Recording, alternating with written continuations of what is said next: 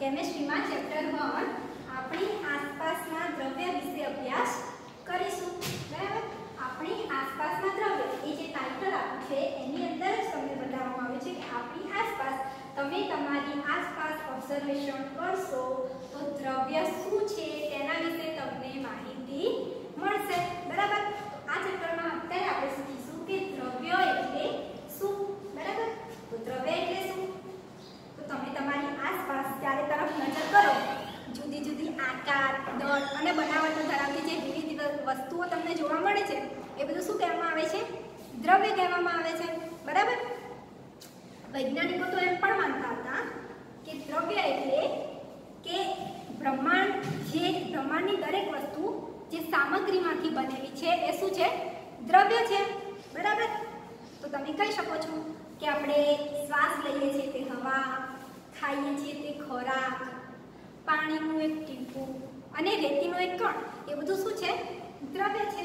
બરાબર? તો દ્રવ્યને આપણે સારી રીતે જો વ્યાખ્યાયિત કરીએ તો દ્રવ્યની ડેફિનેશનમાં દ્રવ્ય એટલે જે પદાર્થ જગ્યા રોકે છે અને દળ ધરાવે છે. તેને આપણે શું કહીએ છીએ? દ્રવ્ય કહીએ છીએ. બરાબર? તો આપણે દ્રવ્યની ડેફિનેશન લખીશું. કે દ્રવ્ય એટલે જે પદાર્થ જગ્યા રોકે છે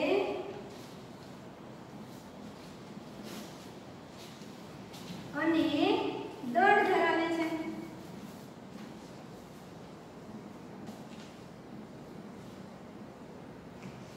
તેને આપણે શું કહીશું દ્રવ્ય કહીશું બરાબર તો દ્રવ્ય એટલે તો તમને ખબર પડી ગઈ ઉદાહરણ તરીકે આપણે લઈ શકીએ કે પથ્થરો પથ્થર છે એ શું કરે છે જગ્યા રોકે છે બરાબર પછી વનસ્પતિઓ પ્રાણીઓ વાદળો તારાઓ એ બધું શું છે દ્રવ્યના ઉદાહરણો છે તો ઉદાહરણ તરીકે આપણે શું લઈ શકીએ કે પથ્થરો વનસ્પતિ પ્રાણી વાદળો અને તારાઓ બરાબર તો આ આ તમને એક્ઝામ આવી રીતે પ્રશ્ન પૂછાઈ શકે કે દ્રવ્ય એટલે શું ઉદાહરણ આપીને સમજાવો તો તમે લખી શકો કે જે પદાર્થ જગ્યા રોકે છે અને દળ ધરાવે છે એને દ્રવ્ય કહેવામાં આવે છે બરાબર પરંતુ પ્રાચીન તત્વજ્ઞાનીઓ હતા બરાબર એમને દ્રવ્યને પાંચ ભાગમાં વર્ગીકૃત કર્યું એ કયા પાંચ ભાગ છે દ્રવ્યને જે પાંચ ભાગમાં વૈજ્ઞાનિકોએ વર્ગીકૃત કર્યું જેને એમને પંચતત્વો તરીકે ઓળખાય એ પંચતત્વો કયા કયા છે તો એ પંચતત્વો છે અગ્નિ આકાશ પૃથ્વી પાણી અને વાયુ તો તે પ્રાચીન વૈજ્ઞાનિકો તો એમ પણ કહેતા હતા કે દરેક સજીવ અને નિર્જીવ વસ્તુ આ પાંચ તત્વોમાંથી બનેલી છે. બરાબર? તો આ પાંચ તત્વો કેટલા બધા ઇમ્પોર્ટન્ટ હશે? તો પાંચ તત્વો કયા કયા છે? પૃથ્વી, દેખો પયાની પૃથ્વી યાદ રાખવા માટે પયાની પાણી, પૃથ્વી, પાણી.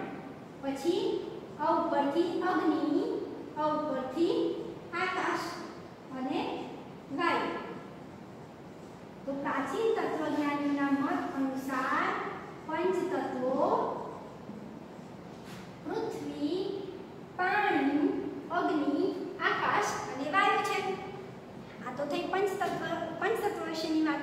ગ્રીક ને વૈજ્ઞાનિકો પણ એવું જ માનતા હતા કે દરેક સજીવ અને નિર્જીવ વસ્તુ આ પાંચ તત્વોમાંથી બનેલી છે. પરંતુ આધુનિક વૈજ્ઞાનિકો હતા, એમણે ગમેને બે ભાગમાં વર્ગીકૃત કર્યા. બરાબર? કયા કયા બે ભાગ? આધુનિક વૈજ્ઞાનિકો હતા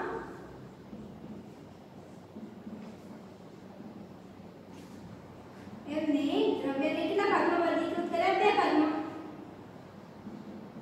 બે ભાગમાં દ્રવ્યને વર્ગીકૃત કર્યા પહેલો ભાગ છે ભૌતિક ગુણધર્મો અને બીજું છે રાસાયણિક ગુણધર્મો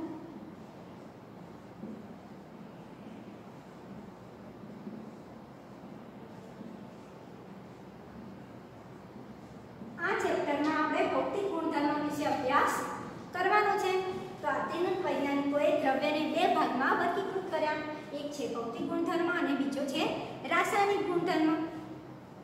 આ હવે આપણે ભૌતિક ગુણધર્મ વિશે અભ્યાસ કરીશું. બરાબર? તો આપણો પહેલો ટોપિક છે ભૌતિક ગુણ ધર્મ આ ભૌતિક ગુણધર્મ સમજાવવા માટે ભૌતિક એટલે ભૌતિક એટલે કે જે બાહ્ય દેખાવ છે. બરાબર? ધારો કે કોઈ પ્રાણી લઈ લો તમે. તો એનો બાહ્ય દેખાવ, એનો આકાર, તમે કાળું છે, ધોળું છે સિંગડાવાળું છે. બરાબર? તો તમે એને બહારથી એનું વર્ણન કરો. તો એ શું કહેવામાં આવે છે? ભૌતિક. તો આ રીતે આપણે દ્રવ્યને ભૌતિક રીતે વર્ણન કરવાનું છે. તો આપણે પહેલાં એના ભૌતિક ગુણધર્મ વિશે અભ્યાસ કરીશું. તો દ્રવ્યના ભૌતિક ગુણધર્મનો અભ્યાસ કરતી વખતે બે વૈજ્ઞાનિકોના અલગ અલગ મત હતા. તો એક જૂથ એમ કહેતું હતું કે દ્રવ્ય લાકડાના ટુકડાની જેમ સતત હોય છે. આ લાકડાનો ટુકડો છે. તો આ લાકડાના ટુકડાની જેમ સતત હોય છે. અને બીજું જૂથ એમ કહેતું હતું કે દ્રવ્ય રેતીના કણોના ઢગલાની માફક હોય છે. બરાબર? એક જૂથ એમ કહેતું હતું કે દ્રવ્ય લાકડાના ટુકડાની જેમ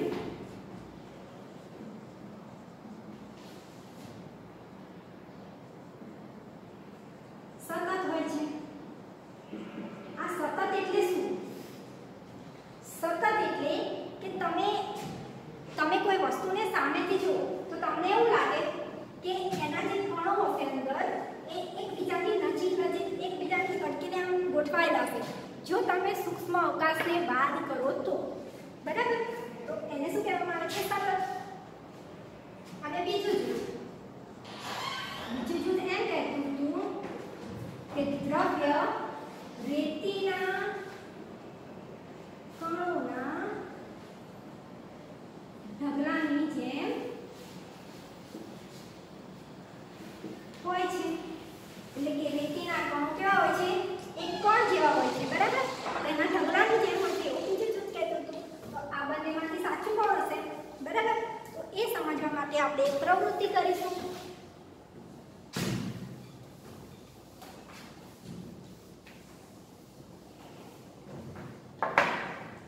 એક બીકરમાં આપણે પાણી લઈશું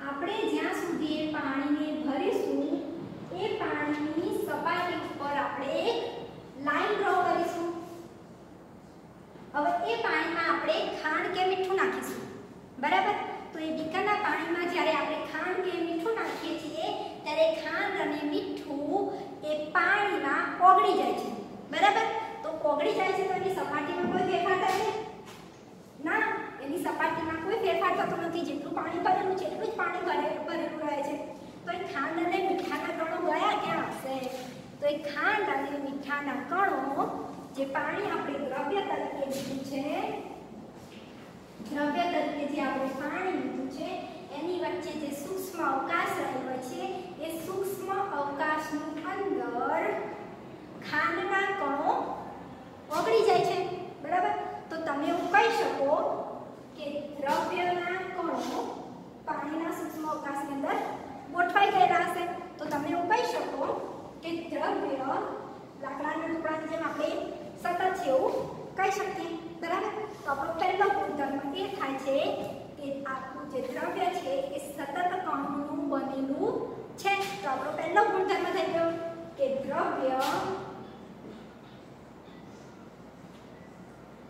સતત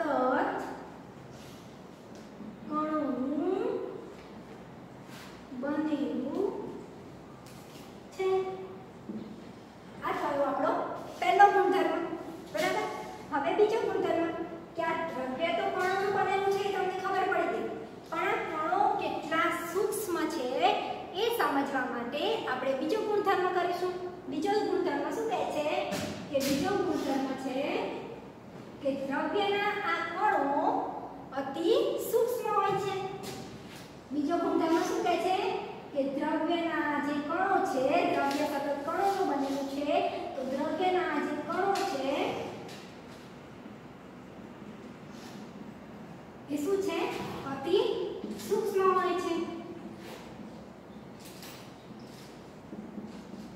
કેવી રીતે દ્રવ્યના કણો અતિ સૂક્ષ્મ હોય છે તો એ સમજવા માટે આપણે એક પ્રવૃત્તિ કરીશું બરાબર તો જ તમને ખબર પડશે કે આ દ્રવ્યના કણો કેટલા સૂક્ષ્મ છે બરાબર તો આપણે એ પ્રવૃત્તિ નંબર 2 કરીશું આ પ્રવૃત્તિમાં તમારે 100 ml ના પાંચ બીકર લેવાના છે બરાબર પાંચ બીકર એક બીકરમાં તમારે 100 ml પાણી ભરવાનું છે કેટલા ml 100 ml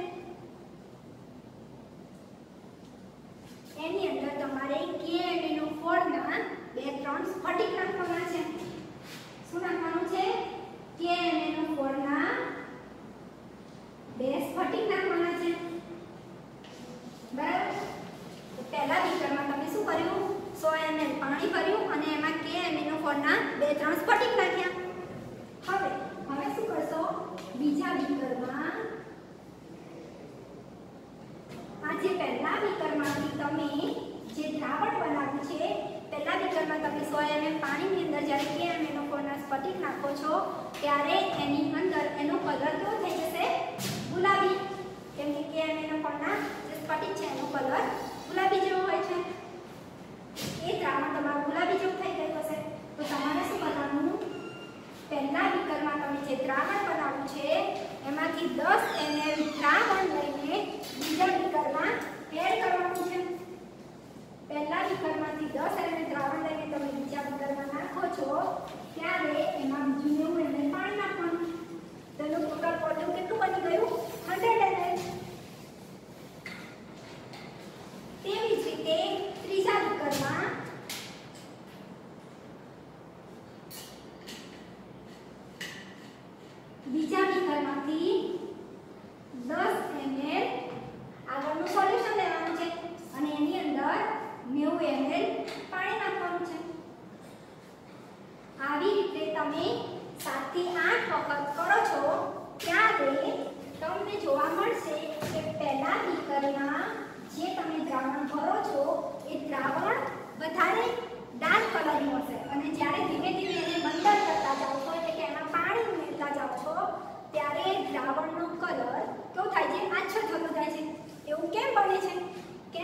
કેમ કે અને એનો ફોર્મનો જે સ્ફટિક નાખ્યો છે, એ સ્ફટિકની અંદર પણ નાના નાના કણો રહેલા હોય છે. બરાબર? તો તમે એવું કહી શકો કે દ્રવ્યના કણો અતિ સૂક્ષ્મ હોય છે. કેમ કે તમે કેમ એનો ફોર્મનો સ્ફટિક લીધો, એ કણની અંદર પણ બીજા કણો રહેલા હતા. જેને કારણે સાતથી આઠ વખત તમે પાણી ઉમેરીને મંદન કર્યું છતાં પણ દ્રાવણનો રંગ કેવો રહે છે? રંગીન તો રહે છે દ્રાવણ, પણ કેવું થઈ જાય છે? આછા રંગનું થઈ જાય છે. બરાબર? તો તમે કહી શકો કે દ્રવ્યના કણો અતિ સૂક્ષ્મ હોય છે. બરાબર?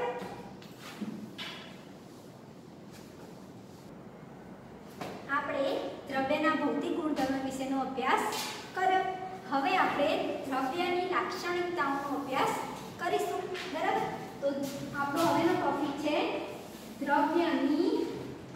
લાક્ષણિકતા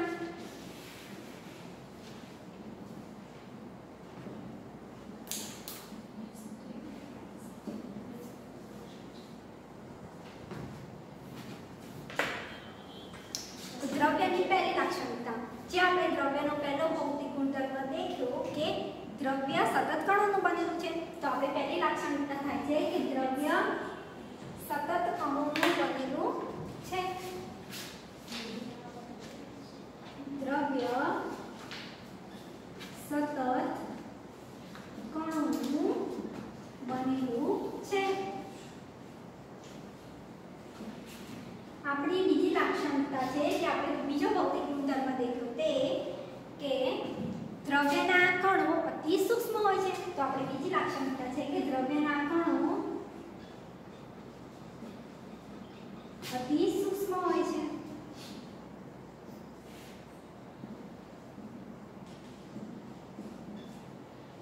ત્રીજી લાક્ષણિકતા કે દ્રવ્યના આ કણો વચ્ચે જે સૂક્ષ્મ અવકાશ રહેલો હોય છે એના વિશે અભ્યાસ કરીશું કે દ્રવ્યના કણો વચ્ચે સૂક્ષ્મ અવકાશ રહેલો હોય છે?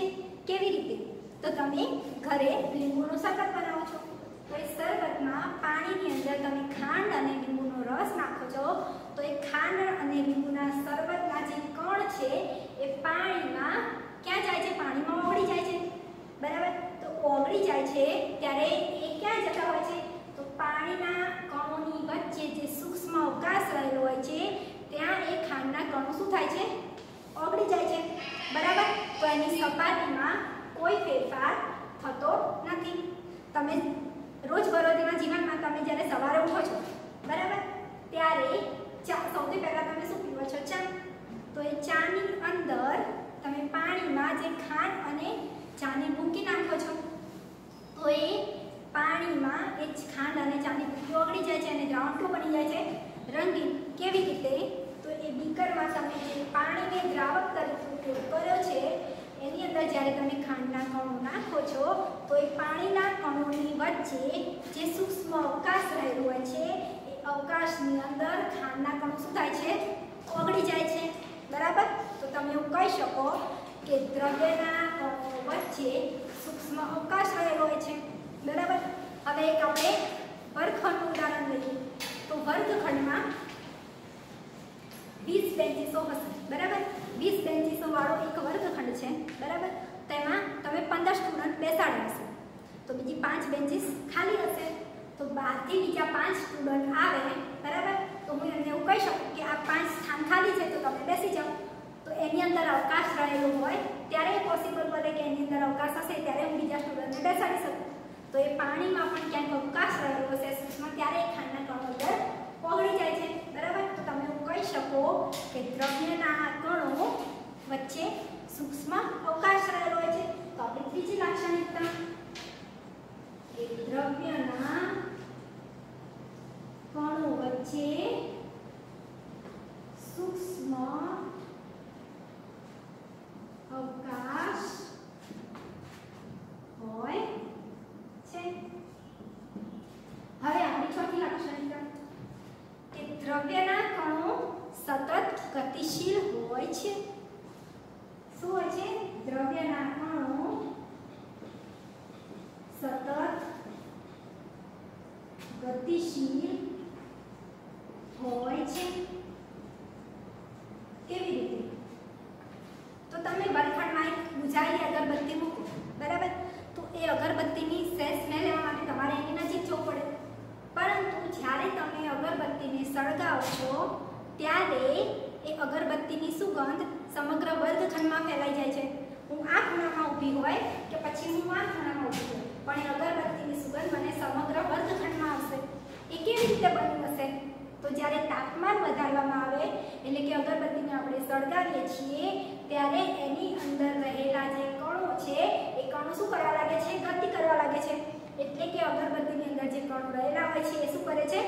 ગતિ કરવા લાગે છે, એટલે કે એની ગતિ ઉર્જામાં વધારો થાય છે, એટલે કે એનું પ્રસરણ ઝડપથી થવા લાગે છે. તો એનું ઝડપથી પ્રસરણ થાય છે, એટલા માટે આપણને અગરબત્તીની સ્નેહ સમગ્ર વર્ગખંડમાં આવે છે. તો તમે એવું કહી શકો કે દ્રવ્યના કણો સતત ગતિશીલ હોય છે. કેમ કે એના તાપમાન આપવામાં આવે ત્યારે એના કણો ગતિ કરવા લાગે છે. બરાબર? તો આ હતી આપણી ચોથી લાક્ષણિકતા. કે દ્રવ્યના કણો સતત ગતિશીલ હોય છે. બરાબર? આ તો થઈ ગતિશીલની વાત. પણ તમારી બુકમાં એ સમજાવવા માટે બીજી એક પ્રવૃત્તિ આપી છે. તો હવે આપણે બીજી પ્રવૃત્તિ કરીશું.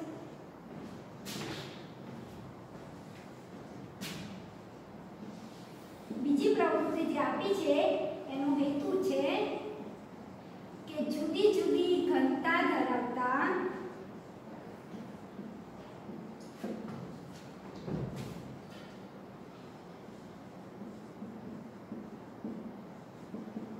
દ્રવ્યમાં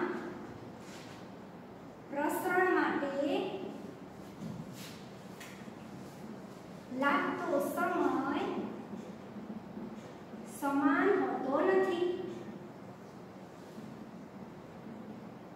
કેવી રીતે એ સમજવા માટે આપણે આ બીજી પ્રવૃત્તિ કરીશું એ પ્રવૃત્તિમાં આપણે બે બીકર લઈશું એક બીકરમાં આપણે પાણી ભરીને એની અંદર સાઈનું ટીપું નાખીશું અને બીજા બીજા બીકરમાં પાણી ભરીને એની અંદર મધનું ટીપું નાખીશું જે બીકરમાં આપણે સાઈનનું ટીપું એટલે કે રંગીન ટીપું નાખ્યું હશે એ દ્રાવણમાં શું થયું હશે તો એ દ્રાવણમાં સમગ્ર દ્રાવણ ઝડપથી રંગીન બની ગયું હશે. અને બીજું દ્રાવણ, જેમાં આપણે મધનું ટીપું નાખ્યું હશે, એ દ્રાવણમાં શું બન્યું હશે? તો એ દ્રાવણમાં જે મધનું ટીપું નીચે બેસી ગયું છે, પણ એને એ ઓગળી જશે, પણ એ ધીમે ધીમે ઓગળશે. જેમ રંગીન દ્રાવણ ઝડપથી ઓગળે છે, એમ એ દ્રાવણ ઝડપથી ઓગળશે નહીં. એવું કેમ બન્યું હશે? કેમ કે જે આપણે બે દ્રાવણ લીધા છે, એ દ્રાવણની ઘનતા અલગ અલગ છે. બરાબર? તો આપણે એક બીકરમાં મધનું ટીપું લીધું અને બીજા બીકરમાં રંગીન ટીપું લીધું. તો મધના દ્રાવણની ઘનતા કેવી છે? વધારે છે. બરાબર? મધના દ્રાવણની ઘનતા કેવી છે? વધારે જ્યારે રંગીન ટીપાના દ્રાવણની ઘનતા કેવી છે? ઓછી. તો જ્યારે મધના દ્રાવણની ઘનતા વધારે છે, ત્યારે એની અંદર પ્રસરણ કેવું થાય છે? એનું પ્રસરણ કેવું થાય છે? ધીમું થાય છે. કેમ ધીમું થાય છે? કેમ કે એના દ્રાવણની ઘનતા શું છે? વધારે. અને આનું પ્રસરણ કેવું થાય છે? ઝડપી થાય છે. બરાબર? તો તમે એવું કહી શકો કે જ્યારે આપણી પાસે બે અલગ અલગ જુદી ઘનતા ધરાવતા દ્રાવણ હોય, ત્યારે એને જે પ્રસરણનો સમય હોય છે એ અલગ અલગ હોય છે. બરાબર? આ દ્રવ્યના સતત, દ્રવ્યના કણો સતત ગતિશીલ છે એ સમજવા માટે આ બીજી પ્રવૃત્તિ હતી. હવે તમારી બુકમાં ત્રીજી પ્રવૃત્તિ પણ આપી છે. બરાબર? તો હવે આપણે પ્રવૃત્તિ ત્રણ વિશે અભ્યાસ કરીશું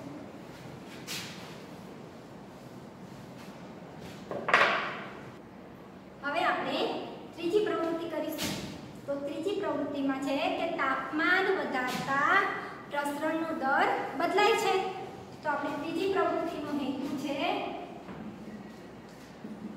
કે તાપમાન બદલાતા પ્રસરણનો દર બદલાય છે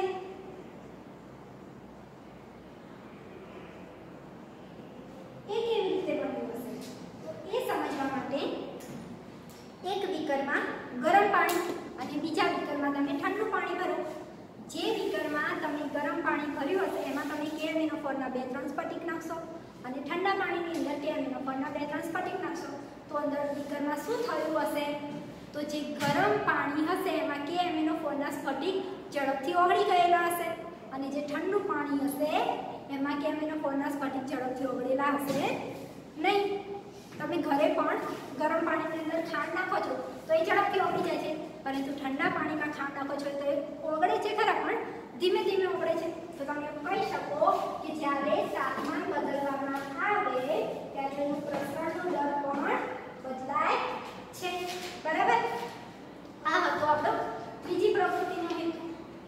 એના ઉપરથી આપણે સમજાઈ શકીએ કે દ્રવ્યના કણો કેવા હોય છે? સતત ગતિશીલ છે. બરાબર? તો હવે આપણી પાંચમી અને છેલ્લી લાક્ષણિકતા કે દ્રવ્યના કણો એકબીજાને આકર્ષે છે દ્રવ્યના કણો એકબીજાને આકર્ષે છે કેવી રીતે તો એ સમજવા માટે આપણે વર્ગખંડમાં એક પ્રવૃત્તિ કરીશું આપણે ચાર જૂથ બનાવીશું એક જૂથમાં પાંચ વિદ્યાર્થીઓ એકબીજાને કમરથી પકડીને ઊભા હશે બીજા જૂથમાં પાંચ વિદ્યાર્થીઓ એકબીજાનો હાથ પકડીને ઊભા હશે અને ત્રીજું જૂથ એ જૂથમાં પાંચ વિદ્યાર્થીઓ એકબીજાનો આંગળીનો આંગળીનો ટેરવાથી બીજા વિદ્યાર્થીના આંગળીનો ટેરવો પકડીને ઊભો હશે તો આ થયા ત્રણ જૂથ અને ચોથું જૂથ કે જે આ ત્રણેય વિદ્યાર્થીઓને તોડી દેશે બરાબર તો આ ચોથું જૂથ છે એ જ્યારે પ્રથમ જૂથને તોડશે તો એને તોડવા માટે શું કરવું પડશે મહત્તમ ઊર્જા આપવી પડશે બરાબર કેમ કે એના કણો એકબીજા સાથે વધારે આકર્ષણથી જોડાયેલા હોય છે તેવી જ રીતે બીજા જૂથને તોડવા માટે પહેલા જ કરતાં ઓછો સમય લાગશે. જ્યારે ત્રીજા જૂથને દોરવા માટે એ તરત ઝડપથી તૂટી જશે. કેમ ઝડપથી તૂટી જશે? કેમ કે એમની વચ્ચે જે આકર્ષણ હોય છે, એ કેવું હોય છે? નબળું હોય છે. બરાબર? તો તમે આ પ્રવૃત્તિ પરથી એમ કહી શકો કે દ્રવ્યના કણો એકબીજાને આકર્ષતા હોય છે. બરાબર? કેમ કે આપણે જે પહેલું જૂથ લીધું હતું, એ એકબીજા સાથે વધારે આકર્ષણ પરથી જોડાયેલું હતું. અને છેલ્લું એકબીજા સાથે નબળા આકર્ષણ પરથી જોડાયેલું હતું. તો તમે એવું કહી શકો કે દ્રવ્યના કણો એકબીજાને આકર્ષતા હોય છે. બરાબર? એ સમજવા માટે આપણે બીજું ઉદાહરણ લઈએ કે તમે એક લોખંડની ખીલી ચોકનો ટુકડો અને એક રબર ટુકડો. તો શું થશે? તો લોખંડની, જે લોખંડની ખીલી હશે, એના કણો એકબીજાને કેવા હશે? વધારે પડતા આકર્ષતા હશે. બરાબર? તો તમે એને તોડવામાં શું કરવું પડે? તમારે વધારે પડતું બળ આપવું પડે. તો તમે એવું કહી શકો કે દ્રવ્યના કણો એકબીજાને આકર્ષે છે. બરાબર? આ મોસ્ટ આઈએમપી ક્વેશ્ચન છે કે દ્રવ્યની લાક્ષણિકતાઓ. તો આ પાંચ લાક્ષણિકતા તમારે યાદ રાખવાની છે. બરાબર? આપણે આજે જે પોઈન્ટ ચલાવે છે, એ તમારે તમારી નોટબુકમાં નોટ ડાઉન કરી દેવાના છે. તો આજે આપણે શું ભણ્યા એક વખત? રિવિઝન કરી લઈએ. તો આપણે સૌથી પહેલા ભણ્યા હતા કે દ્રવ્ય એટલે શું? ઉદાહરણ આપી સમજાવો. એ આપણો પહેલો ક્વેશ્ચન હતો. બરાબર? પછી દ્રવ્યના ભૌતિક ગુણધર્મો વિશે આપણે અભ્યાસ કર્યો અને દ્રવ્યની લાક્ષણિકતાઓ વિશે આપણે અભ્યાસ કર્યો. બરાબર? તો આ ત્રણ ક્વેશ્ચન દ્રવ્ય એટલે શું? ઉદાહરણ આપી સમજાવો. બીજો ક્વેશ્ચન દ્રવ્યના ભૌતિક ભૌતિક ગુણધર્મો કયા કયા છે? અને ત્રીજો ક્વેશ્ચન કે દ્રવ્યની લાક્ષણિકતાઓ સમજાવો. આ ત્રણ ક્વેશ્ચનના આન્સર તમારે તમારી નોટબુકમાં લખવાના છે.